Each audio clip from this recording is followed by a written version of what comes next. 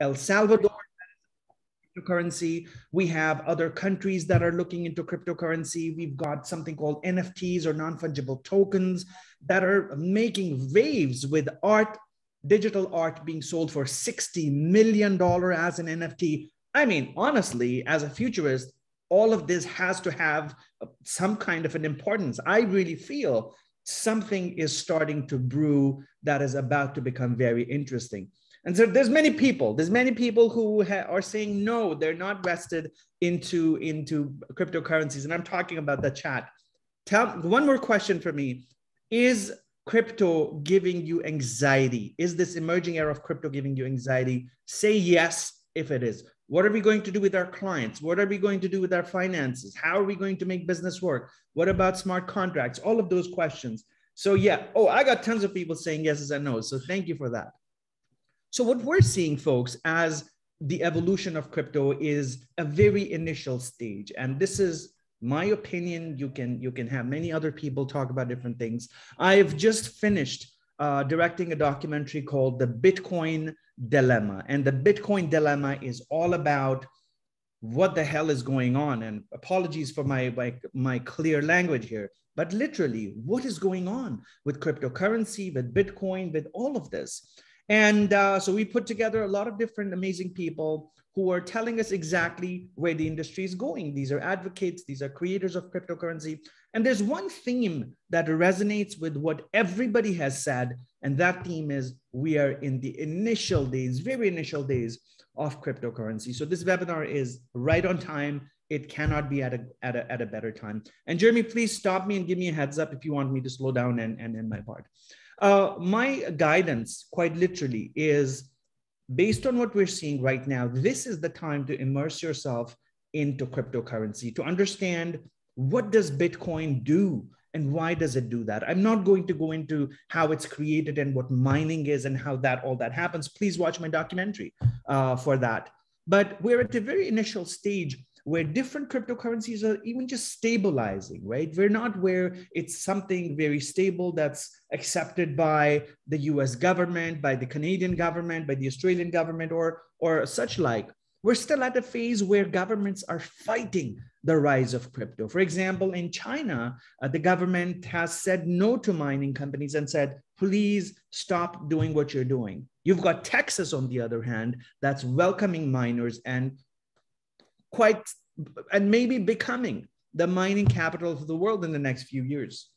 And so there's all these different parallels that we have to consider. In my opinion, I think crypto is an interesting space that the legal professions should jump on. All of you who are on this call, and we've got about more than 500 people on the call right now, you need to jump on crypto and start discussing, talking, which we are doing right now with this webinar, to figure out what should the policies be. How does the law come into place? What taxation what rules what regulations should be in place? And start working with your groups associations and other organizations to influence where crypto should go. Nobody knows where it will go in the next five years because nobody no one single person is controlling it. But all the things that crypto offers the security the safety the um, the the inability to copy it replicate it I think this is really, really big. And I'm talking about what I've been observing over the last 20 years. Um, and so that's kind of um, my guidance. More than happy to answer any specific questions. I can pass it back to Jeremy. Uh, I think I've spoken for more than five minutes. So that serves as an intro. Uh, last but not least, I want to plug my documentary here. documentary comes out 15th of September. You can sign up for a pre-release special at bitcoindilemma.com. Uh, it's a simple mailing list, and I'll let you know when it's out, and I'll send you a copy myself. So thank you so much. It's bitcoindilemma.com. Thank you so much, Ian, and I'm sure we're all excited to, to watch that documentary when it comes out.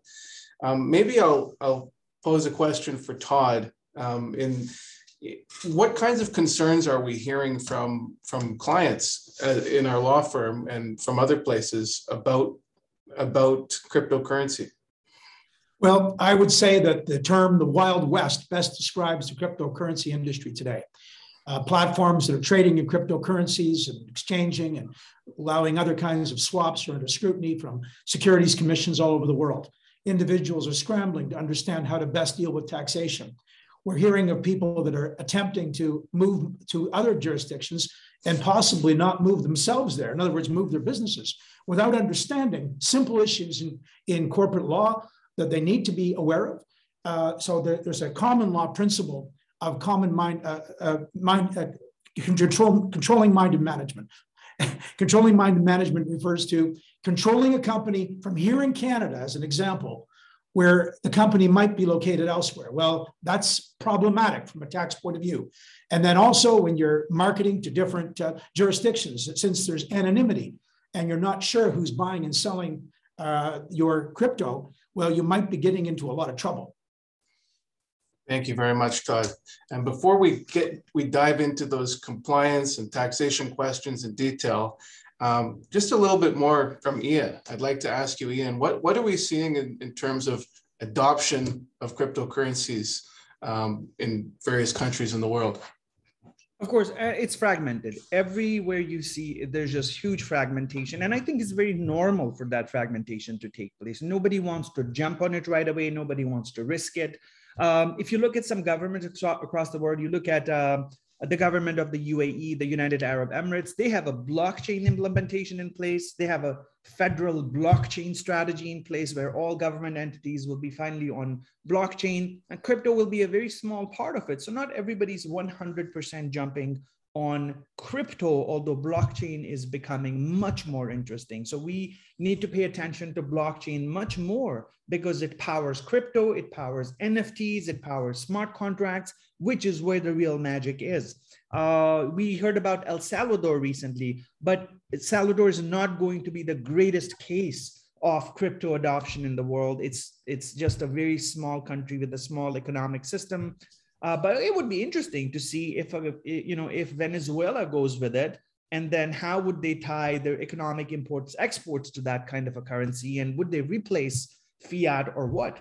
Um, so there's a lot more coming, I think, in the next few years uh, to see what happens.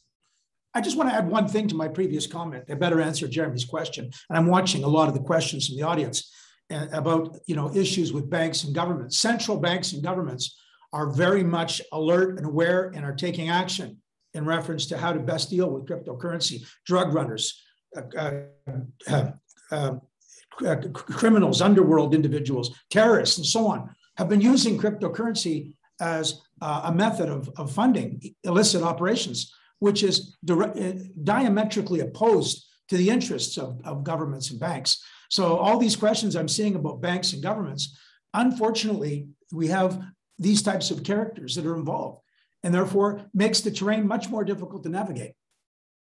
Thank you so much, Todd and Ian.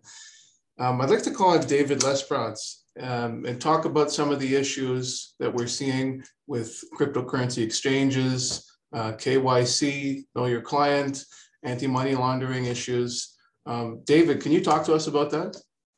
Sure. Um, one of the things you've got to identify is what part of the ecosystem or parts of the ecosystem, you know, the, the client you're speaking with, are they a holder of crypto? Is that disclosed or undisclosed? Are they a miner? They have different issues.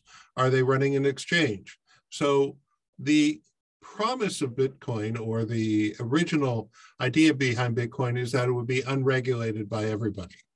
Um, unfortunately, the reality is and and companies like Binance are running into this headlong, which are governments want to ensure that it is not used for all the things Todd was talking about, whether that's ransomware, whether that's um, terrorists or drug money or all the things that we used to see on the Silk Road. Um, they are really going at regulation, and that regulation is the same type of regulation that financial institutions have gone through over the last 25 years. If we think of the world kind of before qualified intermediary and FATCA and Common Reporting Standard and UBS, the, they will be regulating and they are heavily regulated. And really, even as an investor into any of these picks and shovels exchanges, you really have to look at the, the risk of whether your investment is going to go poof like BitMEX um, because the regulators lower the boom because people, the founders and the and the the company is are not properly dealing with KYC and any er, know your client and any money laundering issues. Thanks so much, David. And uh, just a reminder to the rest of the panelists, feel free to jump in. If you if something pops in your mind and you'd like to make a comment, this is an open discussion. Um, Michael, a question for you. We've, we've talked about know your client, we've talked about anti-money laundering. What about issues with securities? Um, we're seeing situations with securities commissions shutting down exchanges. Um, we're seeing, uh, well, what do we see, Michael? Thanks, Jeremy. Well, what's happened now is uh, I just want to take you back to March. Towards the end of March, the Ontario Securities Commission uh, sent out a notice that uh, they now consider this is a, their formal position uh, that Bitcoin is a security. So, what does that mean? It has not been established in a court of law. It has not been established at an OSC hearing. It has uh, nothing other than their opinion. Uh, but having the strength uh, of the Ontario Securities Commission, their opinion is good for them. So, in the end of March, they sent a notice out to the world. Uh, if you're dealing uh, in Bitcoin anywhere that involves Ontario residents, uh, then you must register. Call us and bring yourself into compliance with the Ontario Securities Commission. That's what they did March 29th. Um, and they gave people three weeks to become compliant or start to work to become compliant. So, what happened um, by the end of May, 70 uh, companies uh, contacted the Ontario Securities Commission and said, uh, okay, we want to be compliant. The problem with being compliant, the main problem, or one of the main problems in any event, is that to be compliant, there has to be a know your client. It has to be a KYC. You have to know the names of people you're dealing with. You have to know their addresses, their contact information, all sorts of other things. And the way Bitcoin is being traded today is based on total anonymity. So uh, the feeling seems to be amongst the people with the trading uh, platforms that if they had to uh, require compliance by everyone who's going to uh, purchase bitcoins, then their business would be gone. That they have, it's very difficult to do that. On the other hand, uh, right now there's no civil or criminal criminal method to uh, active, be active against Bitcoin if you've lost your money. So it's not uh, too hard to lose your money on Bitcoin if you don't know what you're doing. It fluctuates up and down. So the OSC now, um, in May of this year, charged a company called Pol- Poloniex. Poloniex is a company that was trading uh, into Canada as well as other parts of the world. Uh, the company is Seychelles, the Republic of Seychelles company, uh, and that's where it exists. The OSC has gone after it. It's the first major charge in this area for uh, a trading platform that's not registered or not compliant with the OSC. So uh, they're now uh, looking into what Poloniex, but whatever anyone else is doing um, in, in this field. Of the 70 people that did respond, the companies that did respond to the OSC, 25% of them, just under 25%, are not resident in Canada. They're just somewhere else out there in the world. And interesting, what happened is Seychelles um, cooperated greatly with the Ontario Securities Commission in the Poloniex matter. And um, Can- Canada, uh, OSC in Canada now is part of an international uh, institutions that work with each other to help investigate so there can be um, charges laid on by the Securities Commission. So in the world out there, the free market of, of what's been going on is changing dramatically and is changing day by day.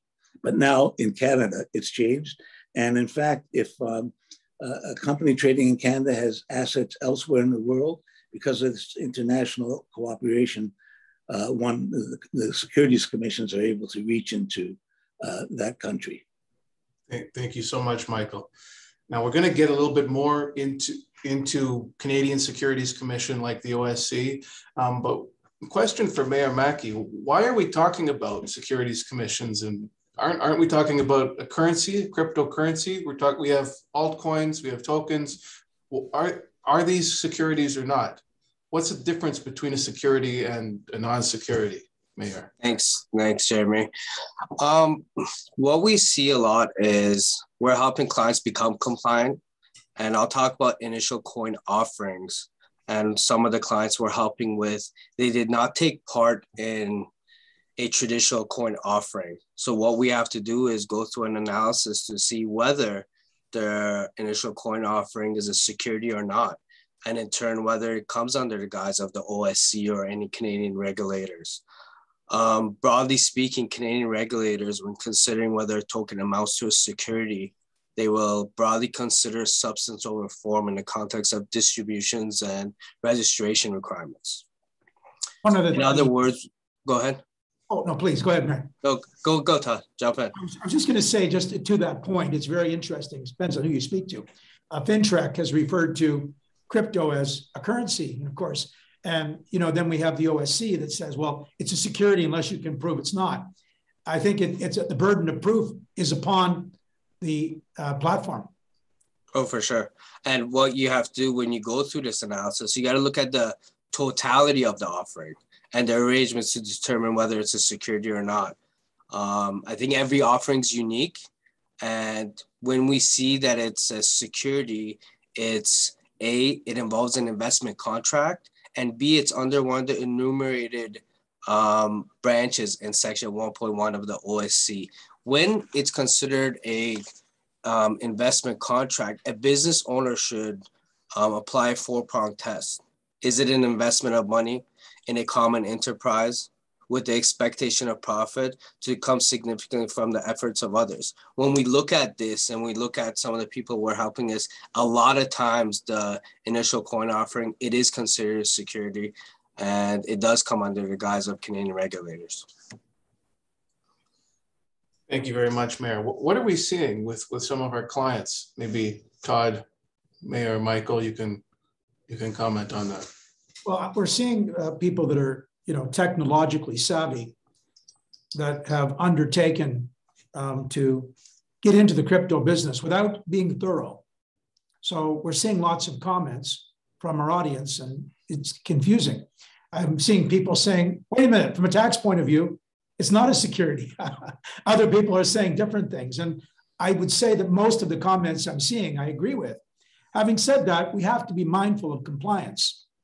And what uh, we're seeing is individuals that are not getting good tax advice. Everyone from crypto holders to platforms to miners uh, that are operating in other countries, or people operating um, mining machines in the US that are unknowingly being subjected to branch tax in the USA, where there's Canadian companies that you know may hold the uh, the currency wallets. We're running, we're seeing situations where machines, mining, mining equipment is running, earning cryptocurrency being subject to, in some cases, to double taxation. Thank you, Todd. Um, I'd like to call on David. David, can you talk to us a little bit about foreign jurisdictions, um, cryptocurrency, and Ian, feel free to jump in as well. But David, why don't you kick it off? So again, going back to my earlier comment, you have to understand, or if we were talking about from a tax or an individual who's holding crypto, um, what jurisdiction they're in. For example, South African rules are different than Canadian rules, are different than US or Australian rules. So you have to understand that first. Um, you also have to understand the types of activities. Some jurisdictions will consider long-term capital gains, others will consider it ordinary income, some of it will consider trading income. So understanding what jurisdiction you're in right now and then where can you go to? And you have similar issues with regards to currency exchanges or or or I'm sorry, uh, miners, uh, crypto miners. One of the things that I've been very busy with in the last few months was that, the, as I think Todd mentioned earlier, the Chinese literally pulled the plug on on crypto miners, which meant that they were scrambling both personally because they don't want to become the next Jack Ma, and their businesses were scrambling because if you're if you're not hashing, you're not making money. And so, you know, they were thinking, where do we go to?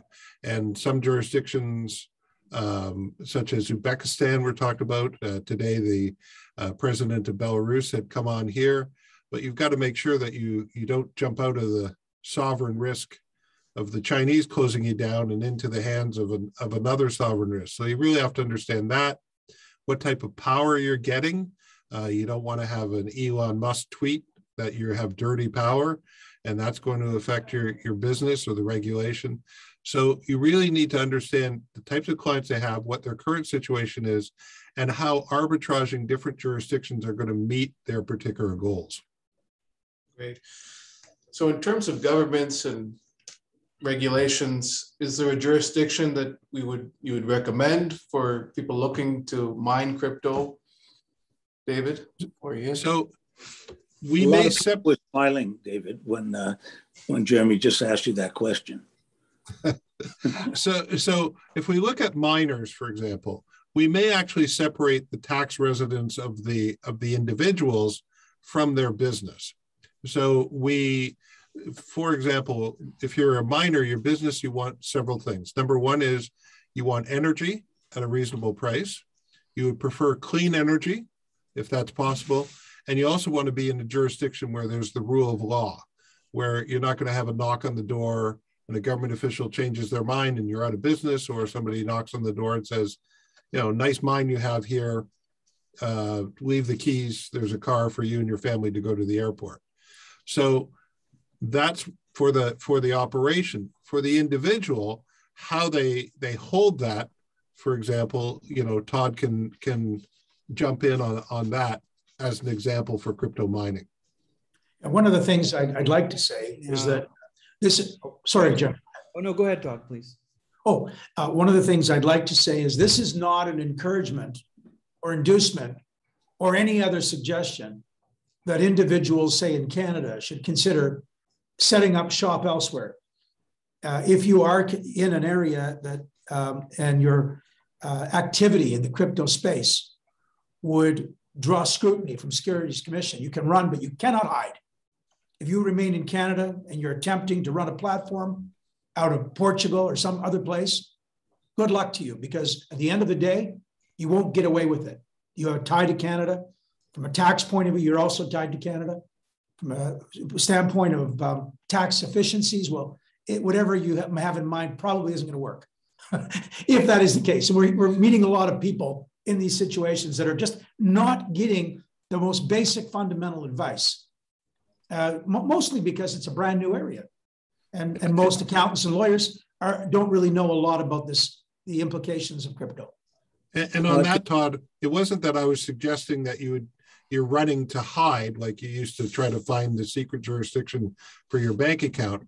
It's which jurisdiction will allow you to be legally compliant and meet your particular goals whether and those are different goals for somebody who holds crypto for an exchange and for miners different parts of the ecosystem oh for sure i, I think uh, maybe todd you can speak to this but i think it's important where we talk about the controlling mind uh, when we talk about going outside of canada yeah i mean it's a it's a fairly um, basic premise in common law that a principle that deals with controlling mind and management and really what it means is, is that if you're if you are a resident of Canada, say for tax purposes, or you're here and you're controlling a company elsewhere, well, that company is deemed to be a Canadian company since you're controlling it from here. And that, that's what I was referring to. Now, leaving Canada is fine if that's your choice. And it may be the best choice for you, but that would require divesting of all of your Canadian assets in order to ensure that you're you know, being prudent and you understand things like departure taxes, and other things. Um, it's not that you can't leave Canada, you can, but you have to be aware of what's involved in that. And when you're trying to control things remotely, it doesn't work. I think Ian was attempting to comment on that. I'm sorry, Ian, go ahead. Oh, no, no, no problem. I, I com- completely love this discussion. And I want to ask audiences here and folks, anything I say, and I, I think I can uh, just say this anything I say is not legal advice, it's not tax advice, it's not accounting advice. I'm an independent uh, professional, so please take it like that. My question to the audience here is if you could save on taxes as an organization, if you could not evade taxes, but save on taxes, whichever in a proper legal manner, would you want to do that as an organization? I want a yes or a no. Would you want to save taxes? Would you want to save paying taxes? And then part two of my statement will follow after I see responses. Okay, great. Everybody wants to save taxes. The entire world wants to save taxes, right? We're not evading taxes. We want to contribute to society, business, and all of that. And for that very reason, that's the motivation that mining companies have right now. I'm going back into the psychology of miners and what they're doing and what we should do about it. It's all about saving on taxes. We started with Iceland, where energy was cheap, everything was running on geothermal energy. Uh, and so this the miners started moving from one country to the other. They started going to China, establishing it there, cheap energy. They're going to Texas now, cheap energy. But these are just big, big pockets of um, countries or regions where tax savings are significant. Con- uh, spend on energy is very less. So we've got to understand where miners are headed. I really believe, as in my opinion and what I see, I think Canada generally is not very friendly with energy. We're not very, I'm Canadian myself. We're, we don't have good energy pricing. And I see that as a challenge for miners to set up a lot of shop in Canada. So they're going to chase the countries that are low, low, low cost countries, not necessarily tax evading countries or but that is a big factor in where miners will go next. I have hopes for CIS, some countries like Azerbaijan, Kazakhstan, uh, or Russia or South America. Uh, we've got to keep a mind open and see where are they headed and, and what's driving them. So everybody wants to save taxes. Taxes cost of energy are two big drivers for this. And in fact, if I that uh, the energy situation uh, comes with uh, uh, environmental hazards. It's a huge uh, to have a mine. It's a huge uh, user of energy. And in fact, I read something last week that said um, in a recent study in 2021 miners just in the USA will use more energy than 159 countries put together. And I'm sure those countries were smaller countries, but still, it takes a huge amount, and it takes the, the where you're located. Uh, it uses a huge amount of energy, and that's affecting local and regional governments and, and politicians are trying to figure out a way to uh, to take care of this. And lastly, there's a huge environmental uh, footprint that's left from a mining uh, area.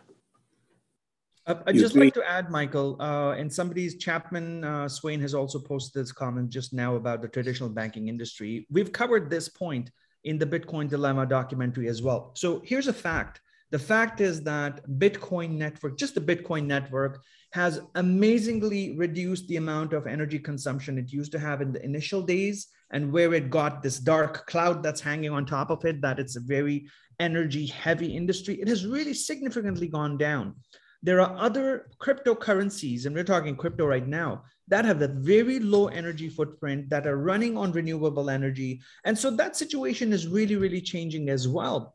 Of course there's an energy footprint for sure. There is a carbon footprint but it's it has dramatically reduced uh, over the past decade. And i'm really going with the fact that the more renewables these industries use the better it's going to be so that's it's work in progress for sure well and just on that point i, I have also been following uh, following that there was a comment by uh, uh, somebody a moment ago that you know that the the energy use for Bitcoin is equivalent to the energy used by electric uh, dryers in the United States. I'd also heard by Christmas lights.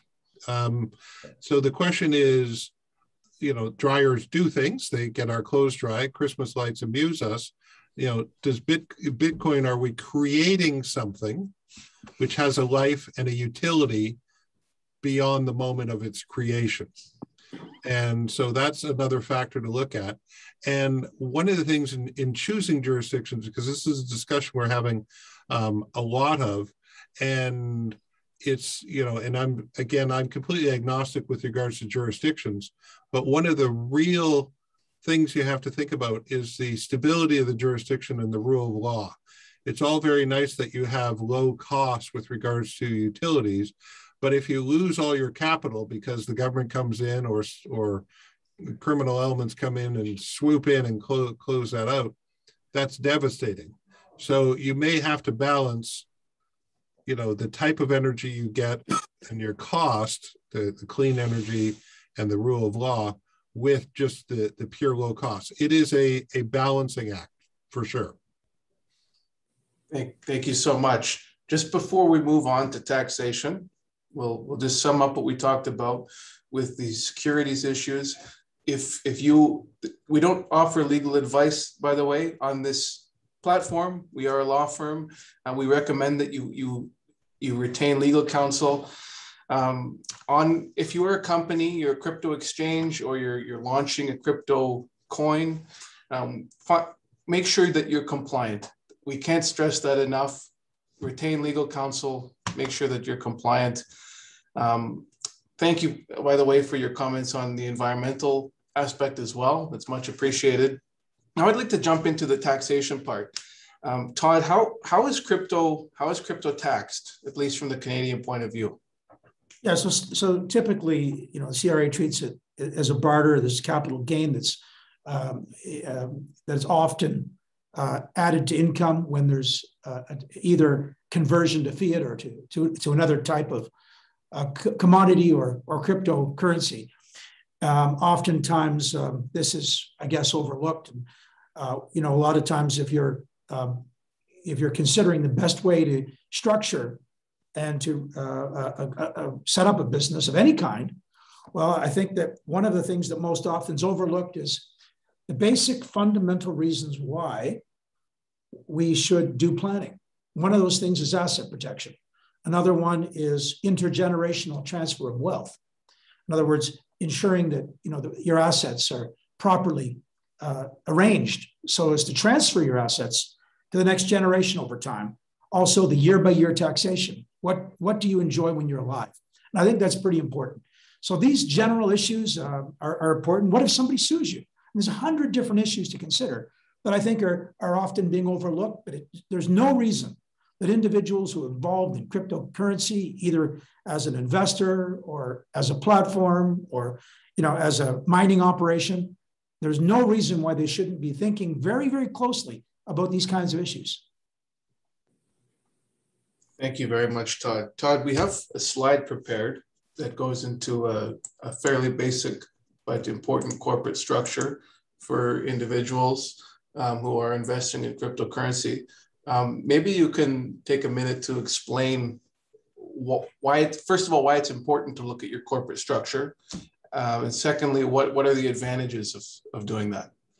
Well, I think one of the first you know, questions is if someone sues you, um, what's going to happen to your assets, whether it's, you know, no matter what kind of assets it is. And I realize there's anonymity and so on with wallets, and but uh, I noticed one of the questions that someone asked, you know, uh, to what extent do we have to be concerned, you know, about anonymity? Well, the government will be um, requiring reporting. That is a fact. Although individuals uh, may be able to fly under the radar, as it were, that's temporary. And governments around the world uh, have a vested interest in ensuring they receive their uh, rightful tax on assets in any taxable jurisdiction, and for all of the other reasons that our expert panel has been discussing. So one of the things that we often see is, you know, individuals are accumulating quite excessive, large excessive amounts of wealth, and sometimes they'll hold it personally, and sometimes uh, we, they put it into a corporation, and other times they're using a corporation, but they're not really using it. In other words, they're, they're either trading or they're doing uh, other, other type of activity, um, perhaps not under proper uh, protection, asset protection. So corporation can provide some asset protection, provides what's called limited liability in Canada. So in, in general, what it really means is if there's a claim um, against the company, well, it be the liability be limited to that corporation and other assets may not be able to be attached. Having said that, there's all sorts of uh, reasons that that can be challenged, such as the Fraudulent Conveyances Act, such as director's liability. There's many reasons that it's important to set up a, a, corporate structure properly. So this is just a snapshot, Jeremy, that you, I guess you put together that describes a fairly common typical structure. So if you have a, a wallet of cryptocurrency, you may want to consider uh, setting up a corporation if you haven't already done that, and then doing what's called a rollover. A rollover essentially means that you can take the wallet and transfer it into the corporation and then take back shares of the corporation without any tax. Well, that's good. It gives you some protection, perhaps, but not necessarily. Uh, when we do these kinds of structures, it's often important to consider what happens at the top. If you're the shareholder of a company personally, and again, there's a, a claim under the Family Law Act or some other type of liability that could affect you, well, again, your whole empire could be gone very quickly if you got sued personally. So one of the things we, we often suggest to business owners and individuals that are involved in this space is why not set up a trust to hold the shares? Well, one very practical reason is because if you set up a trust, well, then you don't own the shares directly. A trust owns the shares. And of course, a lot of people will say, wow, this sounds pretty uh, confusing. What is a trust? When did trust start? what are trusts about? How do you use a trust? And more importantly, what are the benefits? So, one of the things I usually say to business owners or individuals that are involved in cryptocurrency uh, is the best way to understand a trust. It's, a, it's a, in this case, it's a family trust. Um, and there's different kinds of trusts. There's what's called testamentary trusts that are created by your will and only come into effect after we die. And then there's what's called an inter vivos trust, in other words, a trust for the living. And this particular trust is a fully discretionary trust. And essentially, we have trustees, which would be the, you know, the entrepreneurs, and then the beneficiaries would be all of the family members, including the entrepreneurs in many cases. And these trusts are set up in a way so that we achieve very superior asset protection. And one of the bottom line uh, issues here is again, uh, you could think of a thousand reasons you could get sued. You might hit a guy at a crosswalk who can't walk for the rest of his life, and it's okay if he earns a hundred thousand or two hundred thousand a year. But if he's a billionaire, there may be a claim for far in excess of your liability insurance. It might be a couple million, but you could have a thirty million dollar claim and lose your whole portfolio. So one of the things we often do is we set up trusts, and sometimes we set up trusts in jurisdictions that have better legislation than we have, say, here in Canada. Sometimes we go to New Zealand or St. Lucia or Barbados, number of different jurisdictions, all of which have, I'm going to say, uh, debtor friendly legislation. In Canada, we have creditor friendly legislation that basically goes back to the 1600s. It's provincial legislation. It's referred to as the Statute of Elizabeth. And essentially, what it states if you attempt to hinder, to delay, or defraud a creditor, well, a court can make a special award that results in break piercing your corporate veil or breaking a trust, even. So it's very important that you set things up properly. And in some instances, we're able to set up structures where we don't really send any money outside of Canada, nor do we send any uh, set up any corporations there. We simply use a foreign trust as a holding instrument to hold the controlling interest of a company that does investments in crypto or anything else. And that can give an, um, really a significant amount of asset protection. And when we do this, well, there's also uh, a natural consequence of achieving this superior asset protection. And the natural consequence is, is that there, you know, there's certain trade-offs that work to your benefit. If you have a, an, active business, you have a small business deduction, meaning that you pay a lower rate of tax on the first 500,000. You have capital gains exemptions. So you sell the, your business or die. Well, you have exemptions to capital gains tax but you don't have those things necessarily at all in this kind of an investment company that holds cryptocurrency. But what you do have is a trade off in that if it's a foreign controlled company, well, first of all, there's no federal surtax, there's no refundable tax. And rather than paying tax at, say, 25% on, on uh, when you convert to, to fiat or other currencies, you're only paying tax at 13.25%. And if you're earning income here, well, rather than paying tax on passive income at 50.17% in the province of Ontario, your tax rate is reduced to only 26.5%. I was muted. Thank you so much, Todd. So we're able to create real asset protection for again, we're focusing on Canadian residents here. Most of our audience is from Canada today, but not all of them. So we're able to create real asset protection with other benefits, including estate planning, reduction of tax today, and also reduction of tax in the future by using the correct corporate structure. Um, I'd like to ask a question to David, and I'd like Ian, Michael, everyone to comment on it uh, on the topic of uh, anonymity, uh, being anonymous. So why are we talking about tax? Why are we talking about asset protection if crypto is an anonymous asset? Um, is that the right way to look at it? Um, maybe David, you can start and comment on that. Sure. People who have undisclosed crypto, particularly with capital gains, are kind of at a crossroads. Their first path is that they can come in out of the dark, make voluntary disclosure, retain you know a, a firm like Quantum, make a proper voluntary disclosure, and organize themselves look at either domestic and or international strategies to organize themselves to be legally more tax efficient in the future. Or path B is resign themselves to playing a game of hide and seek with the tax authority opponent who has endless resources, endless time, and the help of all the other tax authorities. Now, I've been hearing for you know the solution of the week mixers. Okay, well, you know, if you follow the news, the, the head of Helix, which was a major mixer, he all of a sudden uh, was charged, and guess what he's using to knock down his, his, his sentencing? All the information on all those mixes that he did.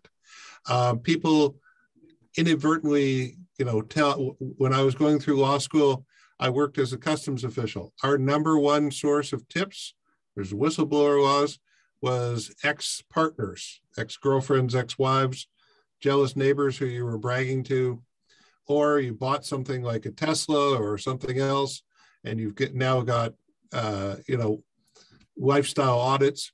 So the people who are smart are not going to stick their head in the sand. They're going to really bring themselves, retain a proper firm, bring themselves into compliance, pay the tax, whatever they need to at this point, and then use strategies like the ones we've been talking about in moving forward in a tax efficient manner, a way that deals with their goals like asset protection.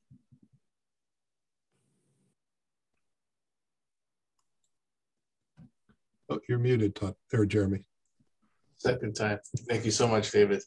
Um, let's let's move on to one. Or Ian, did you have or Mahyar? I, I, had a real quick comment on, uh, and we, we heard a couple of times the, the fact of anonymity. Uh, I just want to make it clear that not all cryptocurrencies are anonymous. Bitcoin is not 100% anonymous, and there's a very small set of uh, cryptos, uh, Moneris, and a few others that offer 100% crypto or 100% anonymity. Bitcoin can still be tracked. There's different ways of tracking it. It's not easy, but they're still tra- traceable and trackable. So there's there's a lot in there, folks. There's a lot to understand about different types of crypto. But anonymity is a function that can be enabled, and not all cryptos are 100% anonymous. Thank you. Uh, important distinction to make. Thank you very much for that, Ian. Uh, Mahyar, you have your hand up. Yeah, I just want to piggyback on what Todd said in regards to setting up this corporate structure. We recently had very successful couple. Um, they're minors. We rolled their assets into a corporation, set up a structure for them with a family trust. And one thing I want to touch upon is a family trust in terms of asset protection Family trusts go back to the medieval times. There's strong case law surrounding a family trust. Courts are reluctant to break a family trust, whether it's a lawsuit, creditors, or anything like that. It's left for the benefit of others. You'll see once in a while a court will break it up in a court of appeal case like Spencer versus Spencer, where it's a um, equalizing net family property where one of the trustees was exercising control, but those are rare circumstances. So a family trust is utilized and it's very good um, in terms of asset protection. And also you can multiply your capital gains exemptions um, when using that. So we've used that successfully in helping minors and so on and so forth. I just noticed there's a couple of questions, and maybe I'll just uh, answer very quickly. Um, so one of the questions we had is a crypto wallet eligible property to be transferred under Section 85 of the Income Tax Act. And the answer is yes, it is. Another question referred to asked about, you know, what authority we depend upon. Well, the wording in the act is sufficiently broad that we have no problem in, in, in doing this. Uh, again, not this is not legal advice. We don't want you just to go off and try to do this at home. Uh, you do need to consult. Every situation is different, and we have to look at the at the at the matter very carefully in order to, to verify that. And someone else asked if there's a, a taxable disposition if you're transferring the assets to a trust. Well, in the diagram that Jeremy displayed, he showed a corporation and the wallet was rolled into the corporation and the trust was at the top. The trust had the shares that controlled the corporation, but the individual received the shares back. So the structure that was being described does not trigger tax, even though it gives you the asset protection that is, uh, I'm going to say, very superior along with uh, the tax, the uh, automatic natural consequences of tax that become uh, available as a, as a result of using a non-Canadian trust to hold shares of a Canadian corporation. Thank you, Todd. Uh, maybe Todd, can you can you comment on on this slide? We have we, we have been talking to crypto miners and crypto holders um, and other individuals in the crypto space. What about people who have other businesses or may the business may be crypto what can we do for general tax planning and asset protection for business owners yeah so let's just say that uh, there's a few different tools in the tax planning toolbox that we sometimes use that are not very common um, at least are not very well understood is a better way to put it now for those of you who are in the us well uh, we're not, first of all, we're not a U.S. tax law firm, and we're again, we're not giving advice uh, to you uh, specifically on this. But what we will say is Canada has something that's amazing, and it has uh, an opportunity to be able to um, transfer assets without any tax whatsoever, which is extraordinary. Well, if you take the shares of a corporation and you decide to give them to your children or other family members, well, we know that triggers tax there's a taxable disposition. There's a deemed disposition that happens at death. And when you transfer assets for a less than fair market value, you're triggering a taxable event at full fair market value. But one of the things that we do have in Canada that I believe is underappreciated is the estate freeze. Now, a lot of people have heard of an estate freeze, and just like they've heard of trusts, and I think they're equally as unfamiliar with as one with the other. Essentially, an estate freeze allows you to be able to freeze minimize, mitigate, cap, freeze the value of your interest in your company, in your corporation, so that later on you're paying less tax, particularly at death. Now, in the context of an operating company, and I would assume, uh, since Jeremy's put, written here that it's a, an act of business, we'll just maybe talk about that for a moment because we do know that a lot of our clients do have uh, businesses as well. They have, they have active businesses that they're operating. And oftentimes it's a matter of creating a conduit or uh, a method of transferring assets from one entity to another without triggering tax. So when we do an estate freeze, let's talk about that first. Estate freeze is best understood as freezing the value of the shares that you hold. Like I said before, it's, it's accomplished by understanding that there are two basic kinds of shares of private companies. And one is a common share, which means that the shares will grow in value. If the company's worth $10 million, well, then the shares are worth 10 million. If it grows to 100 million, so will the shares. Well, there's another kind of share that you all know about, and those are called preferred shares. Preferred shares have a stated value, and the value never changes. So when you exchange common shares that grow for preferred shares that don't grow, well, we, we go inside of the, uh, the corporation, the guts of the corporation. We look at your minute book, and inside there you have articles of incorporation and share provisions. We want to make sure you have the right kinds of shares. Once we do that, we pass resolutions and we exchange shares. And we are able to achieve an estate freeze that allows you to freeze what you have for the purpose of then transferring all the future growth to a trust, as an example. Jeremy, uh, I guess uh, Mahyar had mentioned about the fact that you know trusts have been around for a long time. They're rooted in antiquity. The first record of a trust goes back to the Roman Empire, the ancient Roman Empire, where an individual was on his deathbed, and uh, his one of his seemingly good friends had offered to re- receive his assets on his death, since his wife and children were not citizens of Rome. They were not legally entitled to inherit that property. Well, he offered to take care of them, and we all know that he didn't. He was punished severely by the emperor of Rome. So we're, we're saying this is not new. This is something that's uh, fairly standard in our world, but it really allows you to be able to create this trust so that you're pushing all the future value. For your operating company, it means you could have multiple capital gains exemptions.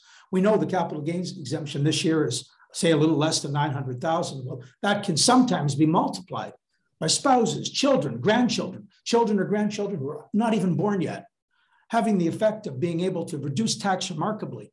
The other thing we're able to do is create conduits that would go between the Canadian operating company and the investment company.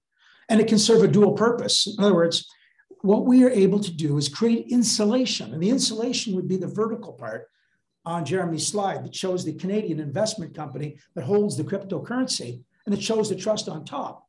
But what it doesn't necessarily explain when you look at the slide is there are ways of paying dividends without any tax from one corporation to another if it's done properly.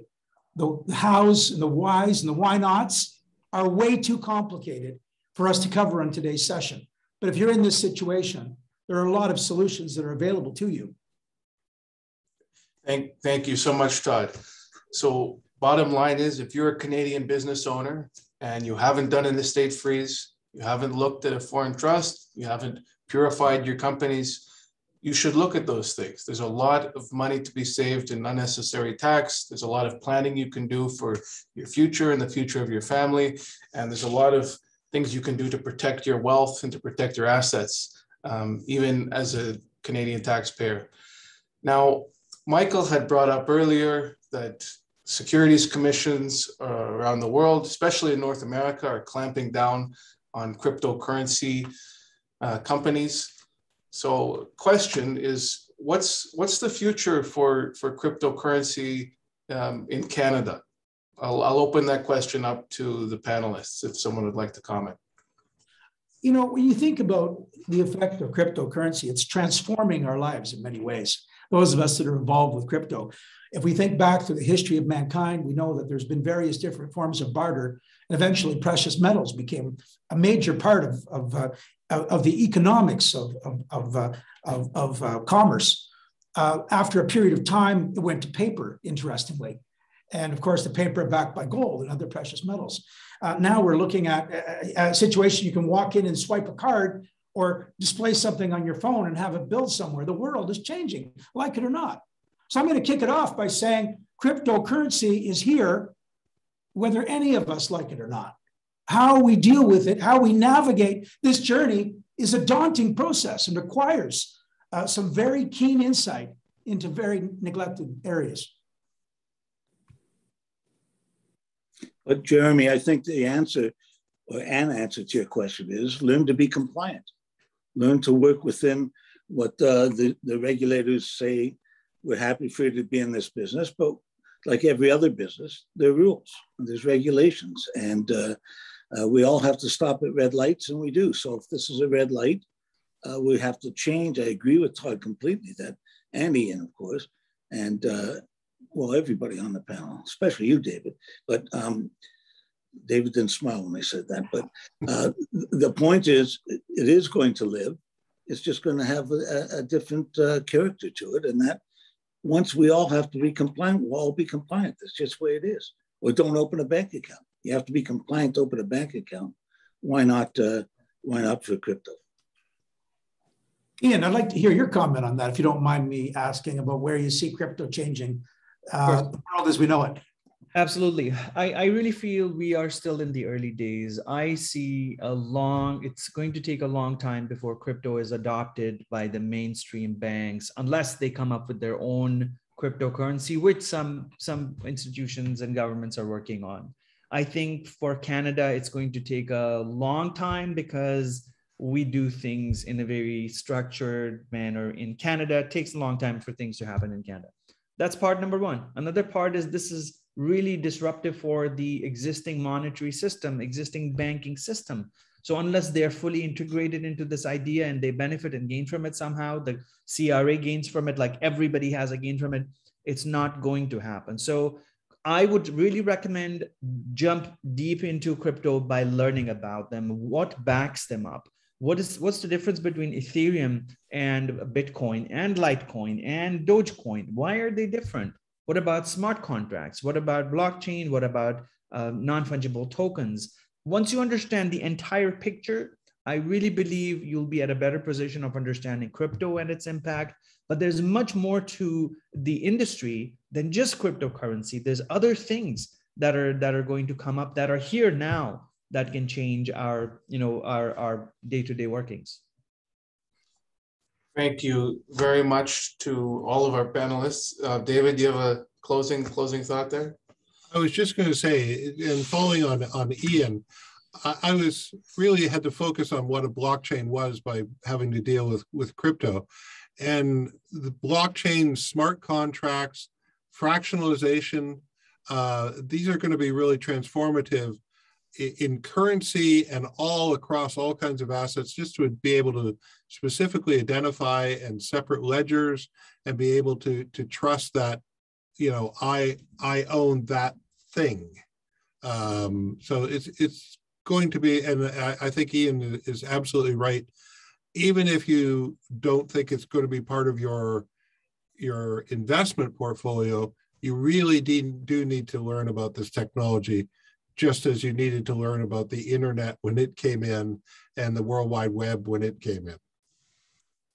Thank you so much, David. And thank you to all of our expert panel. Thank you to all of our, our attendees today.